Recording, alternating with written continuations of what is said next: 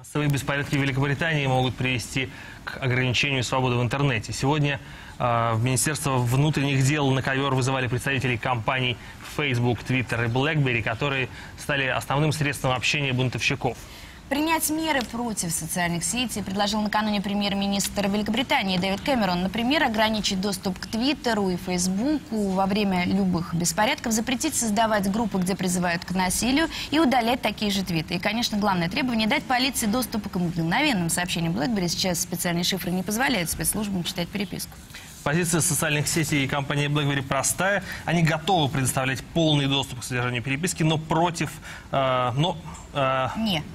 Не против также они и закрывать потенциально опасные группы, но только при одном условии, если есть реальные доказательства того, что пользователи причастны к преступлениям. Ну и о том, поможет ли такой контроль избежать, контроль над э, сетью, э, избежать повторений событий в Лондоне, мы об- обсудим с нашим гостем. У нас в студии э, известный блогер и фотограф Илья Варламов. Илья, добрый вечер. Здравствуйте. Эм, вот мы целый день сегодня обсуждали этот вопрос. Возвращались к постоянно. Возвращались да. к тому, а, не станут ли вот эти погромы а, в Великобритании поводом для того, чтобы резко начинать а, закручивать гайки в интернете, чего, в общем, а, мы, так скажем, ждем и боимся уже давно. Вот, по вашему мнению, как? Ну, э, такая тенденция, она не вчера появилась, и э, с каждым годом э, так называемую свободу в интернете все больше и больше ограничивают. И я не думаю, что конкретно беспорядки в Лондоне могут выступить какой-то решающей точкой в этом вопросе, потому что ну, гайки зак- закручиваются постоянно, и это будет продолжаться. Я уверен, что в ближайшее время начнет, э, начнется борьба с анонимностью в интернете, уже давно об этом говорят, и э, учитывая то, что онлайн, вот эта жизнь, она очень с каждым годом все больше интегрируется в реальную жизнь, то ну, рано или поздно этим вопросом нужно будет заниматься.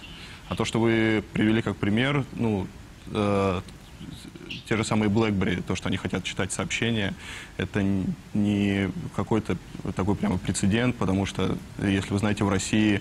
э, Это не прецедент в России. Мы все привыкли к тому, что у ФСБ есть э, претензии к BlackBerry, у ФСБ есть претензии к Скайпу, и когда речь э, заходит о России, мы так как-то ухмыляясь говорим, ну все понятно. Когда э, британские власти вызывают на ковер э, компании, которые...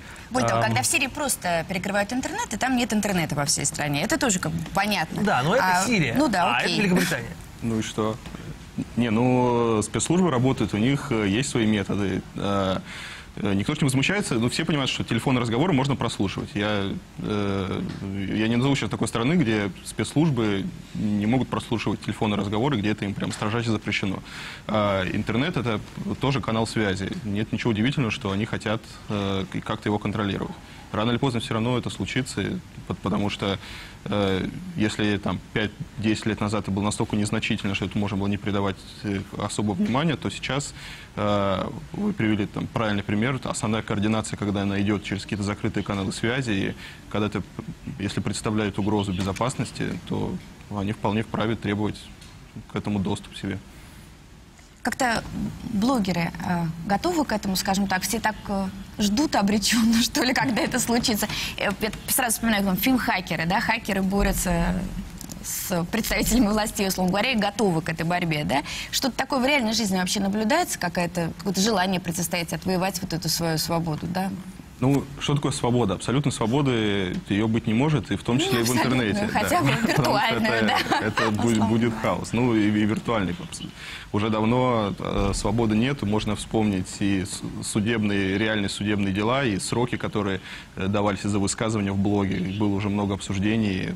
Э, По-моему, ни у кого иллюзий, то, что в интернете осталась какая-то прямо свобода такая, э, их нету.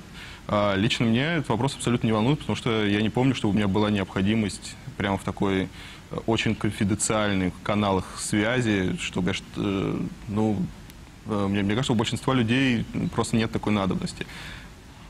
То есть вы думаете, что, что пр- проблема только в конфиденциальности, а в том, что эм, власти просто смогут э, контролировать, там, пере- перекрывать доступ, э, это, это такая экзотика, ко- которая нам, в общем, не грозит. Ну, перекрывать доступ к чему? Э, К определенным сайтам, к определенным... Ну, например, в- это например у нас закрылся, Он в Казахстане живой журнал опять закрыли. ну, это в Казахстане.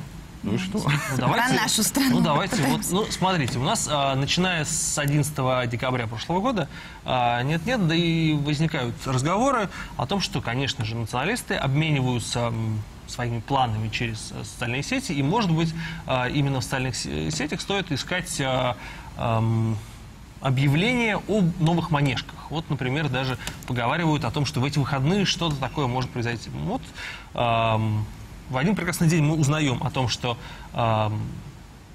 поскольку националисты координируют свои действия через ЖЖ, ЖЖ с завтрашнего дня закрывается. Ну, что касается... И представители РПЦ говорят, а мы будем строить новый храм. И тогда все будет хорошо со временем. Вот, потерпите, друзья. И Что мы касается живем с наших храмом, правоохранительных жизнью. органов, то э, даже имея информацию, та же самая манежка, она была ана- анонсирована, э, собрать там де- Конечно. де- 10 тысяч человек тайно невозможно. В любом случае, та же манежка, она была анонсирована за месяц, и все знали, когда и где собираются люди. Тем не менее, Не то предотвратить... чтобы за месяц. Ну, за недели за две. Ну, Но я... Она была реакцией на убийство Егора Свиридова. Он был убит не за месяц до события, ну, а чуть позже. я то- точно не помню, да, но, э, по-моему... Ну, за пару дней. Не, не за пару дней. Не-не, побольше. Э, Потому что она была после того, как они собирались, по-моему, или, по-моему, на 40 дней они собирались. Ну, неважно. В любом случае, она была анонсирована заранее, и э, это не, не помогло предотвратить эти события. А, по- поэтому, не знаю. В общем, э, в оптимистичном настроении на- находится Илья Варламов. Мы, э, Скорее по политичному, я бы сказала. Не, Не Варлам. в любом случае, если кому-то надо что-то тайно обсудить, э, ну, это всегда возможно сделать там элементарно при личной встрече, и найти способ можно всегда и в интернете. А, Но рассматривать интернет как что-то особенное, это просто, это просто канал связи, так же, как телефон, как, как, как другие способы. И, естественно, его хотят контролировать, ничего там удивительного, Спасибо, по крайней мере, нет. Голубиная почта наше будущее. С нами в студии был э, блогер и